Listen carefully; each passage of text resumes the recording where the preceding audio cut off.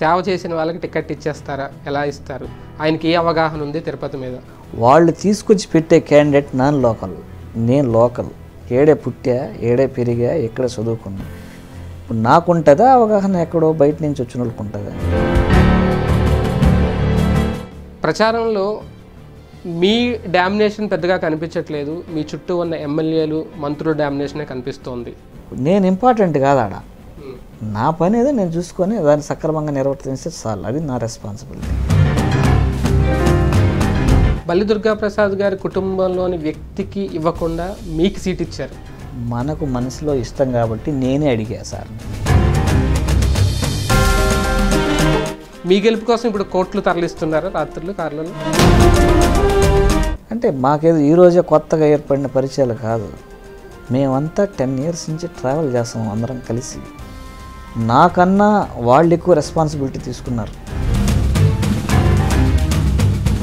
కేంద్రానికి మీకు మధ్య ఒక వార్ నడుస్తోంది. నా పరిధిలో అడగండి ఏదైనా. ఒక ఎంపీగా రాష్ట్రానికి రావాల్సిన దాని మీద ఏ పాయింట్ మీదైనా మీకు రేట్ చేసే అధికారం హక్కు మీకు ఉంటుంది మనం చేసే పని విధానం బట్టే ఉంటుంది. అరిసినంత మాత్రాన పనులు కావు కదా జగన్ గారి దగ్గర మీరు ఏమి నేర్చుకున్నారు? మార్నింగ్ ఏదైతే స్మైలీ ఫేస్ వెళ్తారో ఈవినింగ్ వచ్చేది కూడా అదే నవ్వుతూ వస్తారు గురుమూర్తి గారి దగ్గర నో సౌండ్ వైసీపీ నుంచి మాత్రమే రీసౌండ్ కంప్లీట్గా జగన్ సార్ ఫోటో ఆయన పథకాలు పార్టీ సింబలు పార్టీ కండు అని గెలిపిస్తారు. ఇప్పుడు సైలెన్స్ కనిపిస్తుంది గురుమూర్తి గారిలో. వైలెన్స్ ఎప్పుడు చూడబోతున్నాం? మీరు చూస్తారులే తర్వాత. ఈ గుర్తింపు గురుమూర్తిదా జగన్మోహన్ రెడ్డి గారిదా? నేను ఏదో కొత్త పథకాలు పెట్టి సంతకాలు పెట్టేది కాదు కదా. ఎప్పుడైనా ఢిల్లీ వెళ్ళి పార్లమెంట్ చూసారా? నేను ఇప్పటి వరకు చూశాను.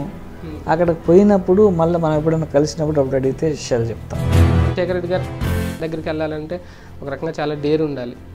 మీరు అంత అంత ఈజీగా ఎలా వెళ్ళిపోయి ఎలా కల కల- కలవగలేరు ఆయన్ని? నేను ఆ ఛానల్ తీసుకొని వాళ్ళని రిక్వెస్ట్ చేసి మా వాళ్ళందరిని తీసుకెళ్ళి కలిశాను అనమాట మీ ఊరు వెళ్తుంటే దారిలో సరైన రోడ్లు బాగాలేదు సరిగ్గా రోడ్లు లేవు. ఊర్లో కూడా చాలా సమస్యలు ఉన్నట్టుగా అనిపించింది. మీకు ఒక విజన్ ఏదైనా ఉందా మీ ఊరికి సంబంధించి? నేనైతే జగన్ సార్ని ఫాలో అవుతా. ఆయన ఏంటంటే ఎంతసేపు ప్రజలకి ఈ రోజు ఏం మంచి చేశామని ఆలోచన చేస్తాడు సార్. బిజినెస్ అంటే ఇంట్రెస్టా? వ్యాపారవేత్తగా ఎదగాలి అనే ఒక ఆలోచన ఉందా? నా ఫ్రెండ్ ఎక్కువ ఇన్వెస్ట్మెంట్ ఉంది నాది తక్కువ ఇన్వెస్ట్మెంట్ ఉంది. ఈ సీట్ అనౌన్స్ చేసిన వెంటనే ఫస్ట్ టైం ఫస్ట్ మీరు ఎవరి దగ్గరికి వెళ్ళారు? రాజశేఖర రెడ్డి గారి సమాధి దగ్గరికా జగన్మోహన్ రెడ్డి గారి దగ్గరికా మీ తల్లిదండ్రుల దగ్గర వెళ్ళి అక్కడి నుంచి వచ్చి మళ్ళీ మా పేరెంట్స్ దగ్గరికి వెళ్ళి. గురుమూర్తి అనే నేను పార్లమెంటు సభ్యుడిగా ఈ ప్రమాణ స్వీకారం. నాకు అలా ఎగ్జైట్మెంట్లు ఏమి ఉండవు. తిరుపతి వైసీపీ లోక్సభ అభ్యర్థి డాక్టర్ గురుమూర్తితో ఎక్స్క్లూజివ్ ఇంటర్వ్యూ రేపు సాయంత్రం ఆరు గంటలకు. ఓన్లీ ఆన్ పీడీటీవీ న్యూస్ ఈ వీడియో గనక మీకు నచ్చినట్లయితే లైక్ చేయండి షేర్ చేయండి. మరిన్ని వీడియోస్ కోసం మా ఛానల్ను సబ్స్క్రైబ్ చేయండి.